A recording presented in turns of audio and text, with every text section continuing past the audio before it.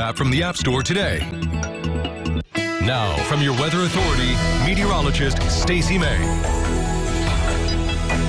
Well, for the early part of June, today was just about as good as it gets. Plenty of sunshine out there all day long. It was warm, yes, this afternoon, right where we should be for uh, this time of the year. But the humidity was so low, and that makes uh, all of the difference. We're going to keep this kind of weather going right on through the weekend, too. Here's live first warning Doppler radar. It is all quiet, a clean sweep across the tri state, and it now looks like this is the picture we will see all weekend. We were a little concerned the past couple days for maybe a few showers returning at some point on Sunday.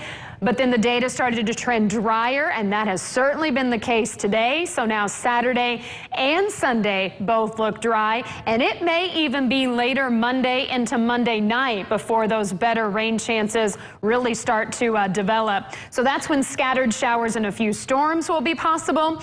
And right now, the severe threat even doesn't look uh, all that bad for us come Monday, but that's something that we'll watch as we go through the weekend and uh, keep you updated on. In the meantime, take advantage advantage of this weekend uh, and enjoy it uh, outside. Here's a look outside right now in downtown Evansville from the top of Fifth Third Bank. Uh, our Superior Ag Tower cam there on, again, a quiet and pleasant Friday evening. Since the sun went down just after 8, we have been dropping our way through the 70s and now down to 67 degrees and just a light breeze uh, at 3 miles per hour. And there's that dew point way down there in the 50s, and it was even in the 40s, if not the 30s, in some places uh, for much of today. Those are kind of unheard of dew points uh, in the tri-state in early June. So I know you uh, enjoyed it. We all certainly did. And we're still in that pleasant range. And guess what? We're going to stay in that pleasant range through the weekend. And then I think next week we'll at least get back into some tolerable air. Might return, uh, kind of flirt with some of that uh, humid air, but nothing real oppressive in terms of the humidity.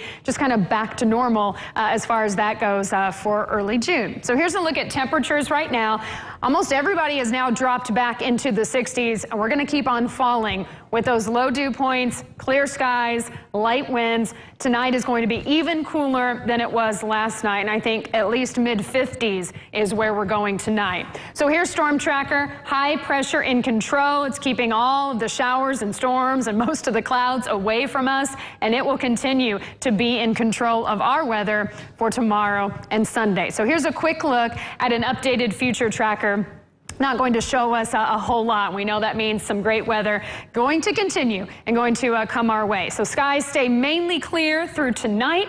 Heading through uh, the day tomorrow, we will see plenty of sunshine again from start to finish. Maybe just a few of those little clouds again mixing in in the afternoon. Tomorrow night, skies are mainly clear. It'll be another cool one.